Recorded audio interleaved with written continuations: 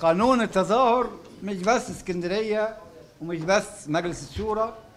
عندنا الذكرى الثالثه للثورة. قبض على مجموعة من الناس برضو. أحد التهم كسر قانون التظاهر. هيكلمنا عن المجموعة ديت الأستاذ محمود بلال المحامي. فليتفضل مساء الخير. الحقيقة إن إحنا آه، بنشهد منذ إقرار قانون التظاهر آه، هجمة آه، قوية جدا و- و- ومتوحشة على كل ما آه، من له علاقة آه، بثورة 25 يناير. في الذكرى الثالثة للثورة آه، شهدنا جميعا منظر غريب ومستنكر. آه، شهدنا آه، كارهي كل كارهي ثورة 25 يناير آه، بيطلعوا في التلفزيون علشان يحتفلوا بذكرى هذه الثورة اللي هم بقالهم ثلاث سنين بيشتموها في حين إنه كل من كان في الشارع في اليوم ده لا يرفع صور عبد الفتاح السيسي بيتم القبض عليه. في هذا اليوم ال- تم القبض على 1079 شخص كما أعلنت وزارة الداخلية. نصهم تقريبا كان في القاهرة. وتقريبا يعني آه، آه، أغلب أقسام الشرطة في في القاهرة كل اسم كان له قبضة. وتنوعت القبضات بقى في أماكن مختلفة. يمكن أشهرهم آه، ال- القبضة الكبيرة بتاعت عابدين اللي هم أطلق عليهم مظاليم وسط البلد وكذلك القبضة بتاعت آه، الأزبكية اللي هي كان فيها حوالي 79 شخص. بالإضافة لقبضة في المعادي تعرض فيها آه، 25 شخص للقبض. وقبضات في أماكن أخرى زي المسكي وزي الدرب الأحمر وزي باب الشعرية والظاهر وما إلى ذلك. آه، آه، ال- ال- الاتهامات طبعا كانت آه، الاسطمبة اللي هي بقت موجودة دلوقتي آه، آه، لل- للاتهامات المتعلقة بمخالفة قانون التظاهر بقى عندنا التهمة اللي هي بيلاحق بيها أي حد وهي تهمة الانضمام لجماعة آه، إرهابية اللي هي جماعة الإخوان المسلمين المفروض. آه، وهذه التهمة يتهم بيها شباب معروفين بانتمائهم للتيار اليساري ويتهم بيها شباب معروفين بانتمائهم لحركات سياسية معارضة للإخوان المسلمين وشباب يعني آه، كانوا من أبرز المعارضين آه، للإخوان في السنة اللي هم حكموها. في الحقيقة منهم لله الإخوان لأنه كل هذه الممارسات ابتدت آه، بتبقى بهذا الشكل من الفجاجة في عهده سواء القبض العشوائي سواء التحقيقات والأحكام والقرارات اللي بيهدر فيها تماما قانون الإجراءات ال- الجنائية اللي هو المفروض بيبقى الحاكم لكل تصرفات النيابة العامة والمحاكم المصرية. آه، بالإضافة للتهمة بتاعة الانضمام لجماعة دي بقى عندنا التهم المتعلقة بقانون ال- التظاهر. آه، وهذا القانون آه، منذ آه، إقراره في آه، أواخر نوفمبر الماضي وأصبح زي ما قلت سيف مسلط على رقاب كل الثوار. ولكن في الحقيقة أنه القانون ده أكيد أنه مقاله صفيحة الزبالة زي أكيد أنه مقال إخواننا المأسورين هو الحرية.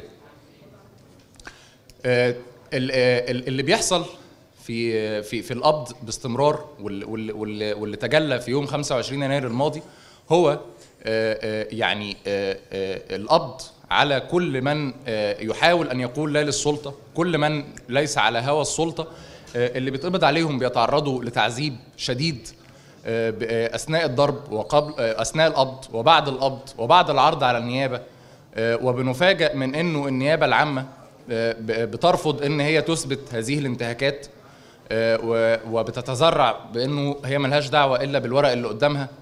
وبترفض تماما إنه هي تجري تحقيقات في آه، هذه الانتهاكات التي يتعرض التي يتعرض لها المقبوض عليه.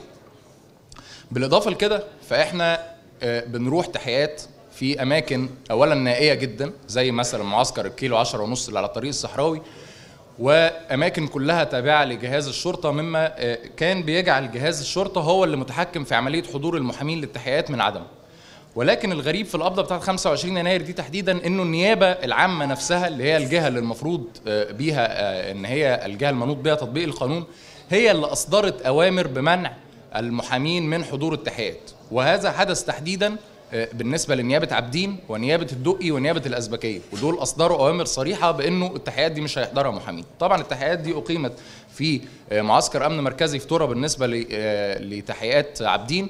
وفي معسكرات الطريق الصحراوي بالنسبة لنيابتي آه، الدقي والعجوزة. بعد كده النيابة طبعا كل اللي بيتعرض قدامها بتديله حبس 15 يوم اعتمادا على السلطة اللي هي بتدعيها لنفسها سلطة قاضي التحقيق وتروح مدية حبس 15 يوم. بيتم التعنت الشديد في في قبول طلبات الاستئناف آه، وبعد كده بيتم التعنت أيضا في قبول طلبات الزياره سواء من المحامين أو من الأهالي للمأسورين وبنيجي بعد كده في ال- لأماكن الاحتجاز اللي هي بتشهد ممارسات غير إنسانية. وغير آدمية وغير قانونية ضد كل اللي موجودين فيها. أماكن الاحتجاز سيئة جدا. كل اللي دخلوا آه، بي- بي- بيشتكوا من آه، آه، ممارسات تتعلق بالتعذيب والضرب والإهانة وال- وال- وال- وال- والإجبار على فعل أشياء مهينة جدا.